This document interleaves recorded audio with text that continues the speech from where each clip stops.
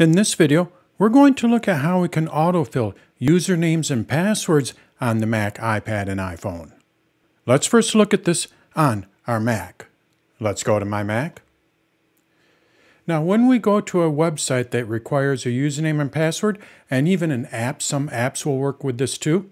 When we go to a website, what we can do is we can have our Mac save that username and password. So then it will autofill for later on. As an example, I'm going to go to my site here. So I open up Safari, and then we go over to my site, and I want to log in. So I just click on log in here, and what you will see here is it wants to autofill. When I typed in my username and password into the site, the Mac asked me if I wanted to save it, and now what I'm able to do is autofill it. If I want to use a different account, maybe I have a couple of different accounts for this site. I want to use a different account. What I can do is I can click on other passwords here, and it'll show me other passwords for that site. So all I have to do is just select which one I want, and it will automatically fill it in for me. We can do the same thing on the iPad and the iPhone. So how do we set this up? How do we have our Mac, our iPad, our iPhone remember what our usernames and passwords are? Well, it's pretty simple to do. On the Mac, what we need to do is we need to go to Safari. So I go down to Safari again, and then we go to Safari's Preferences.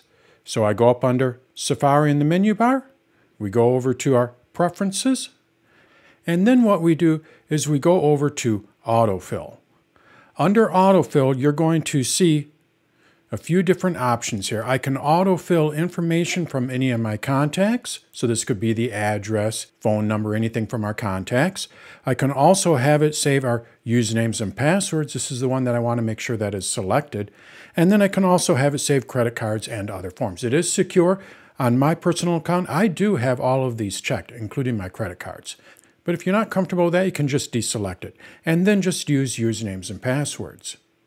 Once you select that, when you go to a website in Safari, what's going to happen once you enter your username and password? The Mac will remember that. It will even auto-suggest passwords for you, strong passwords for you, and save it so you can use that later on. So that's all we have to do on the Mac. What about the iPad and the iPhone? Well, let's go over to my iPad and iPhone. And we're first going to look at it on the iPad. So I go over to my iPad here, and now what we need to do is we need to open up our Settings app. In the Settings app, what we need to do is we need to go to Passwords. Under Passwords, you're going to see Autofill. I select this, and then from here, I just make sure that I have Autofill Passwords selected. Once I do that, the iPad will also remember any usernames and passwords that I use in Safari. On the iPad and the iPhone, we can also have it work with other browsers. So I could have it autofill with Chrome too. So I just select Chrome here. And now, when I click on Turn on Autofill, when I'm using Google Chrome, it will automatically fill in any usernames and passwords. And also what it will do on the iPad and the iPhone is remember any app usernames and passwords. So in addition to Safari and Chrome, it'll remember app usernames and passwords. Well, what about the iPhone? Well, it's very similar to the iPad, as you can imagine. When I go to my iPhone here and I go to Settings, what I need to do is I need to go to Passwords, and then you're going to see autofill up towards the top. All I need to do is just make sure that that is selected. Now I do not have any other browsers on this, so it is not giving me the option to save it with Chrome. So that's all we have to do to have our Mac, iPad, and iPhone automatically save usernames and passwords and then autofill them at a later date.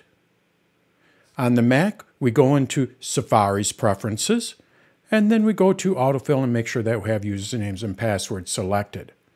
On the iPad and the iPhone, we do this through the Settings app, and then there's going to be a setting for passwords. Just select that and make sure that you have autofill passwords selected. So that's how we have our Mac, iPad, and iPhone automatically save and autofill usernames and passwords.